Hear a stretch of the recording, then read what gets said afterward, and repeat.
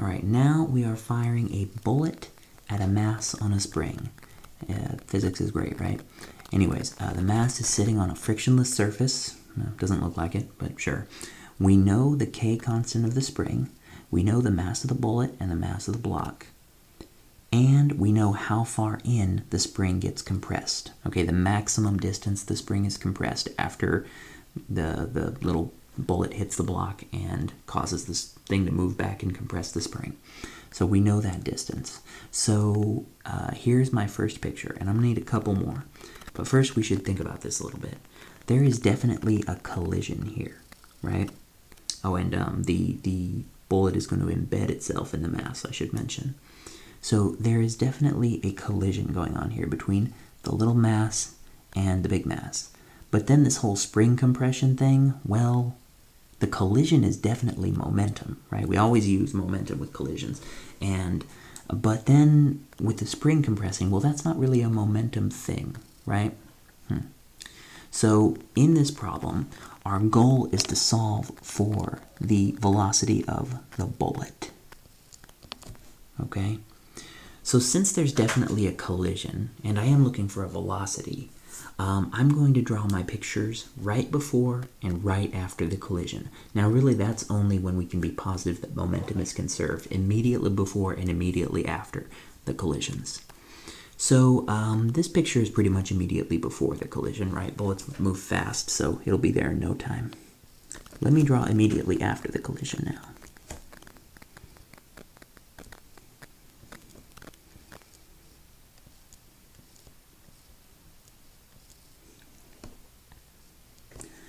Okay.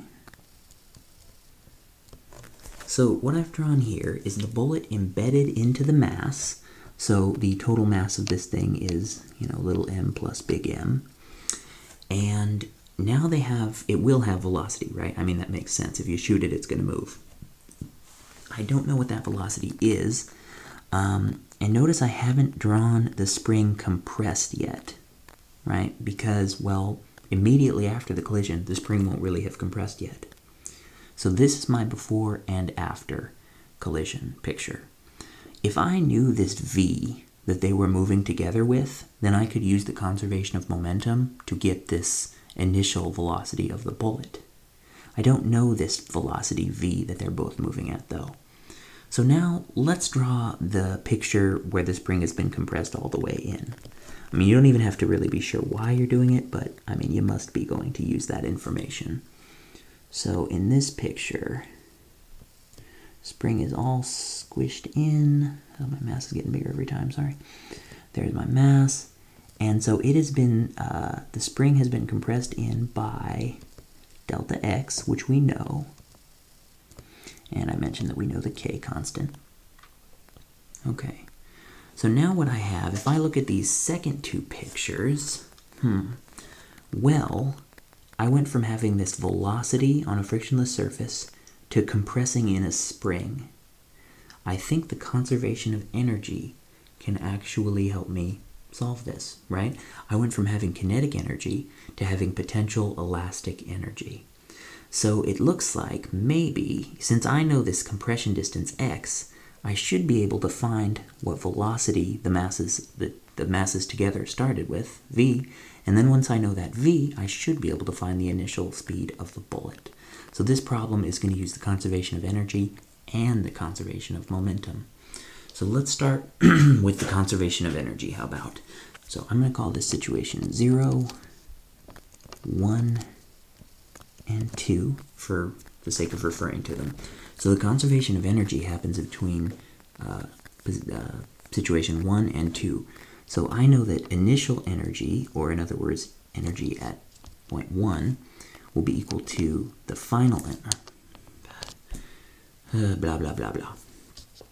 So I know that the final energy at 2 will be equal to the energy that it had at 1 plus any work done by non-conservative forces. So this is like final and initial for the sake of the energy equation, but I'll call it 2 and 1.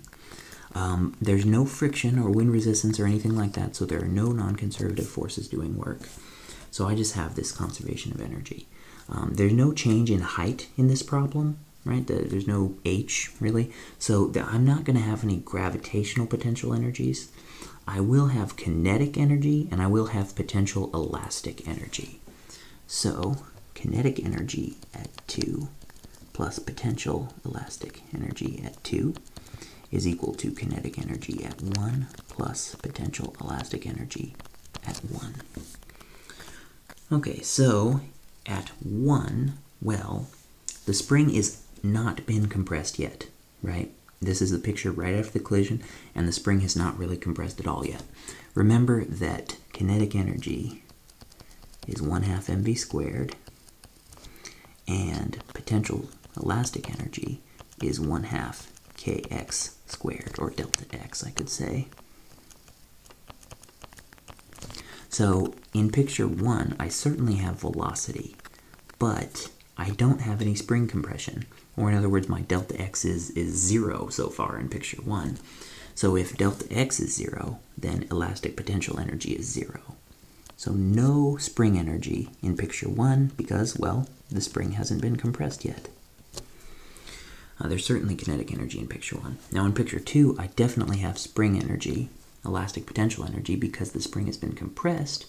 But once you've compressed all the way in there, this velocity, shall I call it v2, will be equal to 0, right? Once it's compressed all the way, it's probably about to pop back out again, but at that moment its velocity is 0.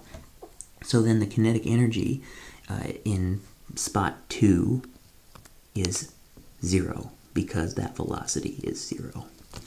So I'm just left with the, um, uh, let's see, the elastic potential energy at 2, 1 half k delta x squared, right, it's been compressed in by delta x, will be equal to the kinetic energy at 1, which is 1 half m v squared. That v right there, the velocity that they had together.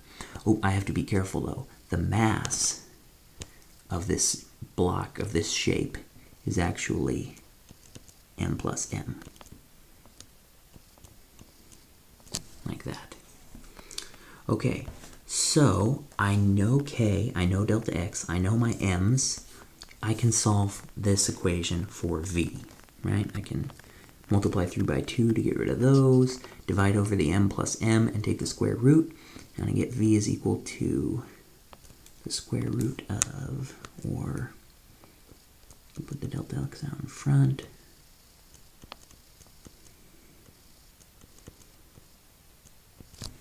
So there is my velocity uh, with a little algebra that I hopefully didn't hopefully didn't mess up.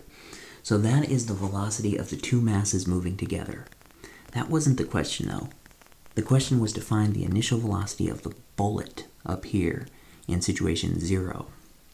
But now that I know the velocity that the final velocity, and I know there was a collision, I should be able to work backwards using the conservation of momentum to find the velocity that the bullet had.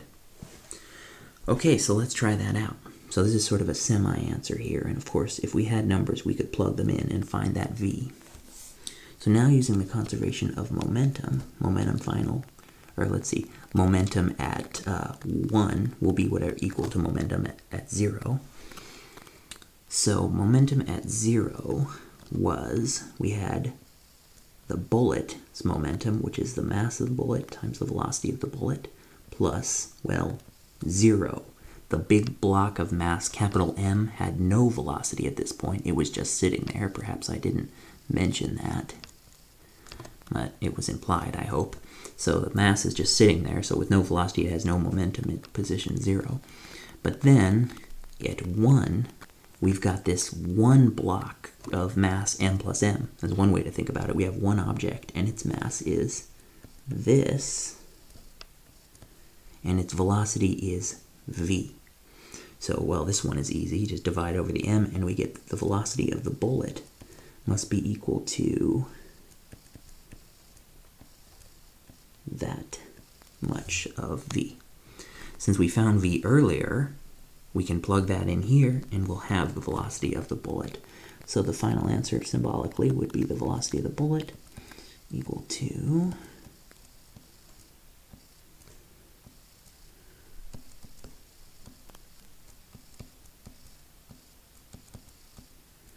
that.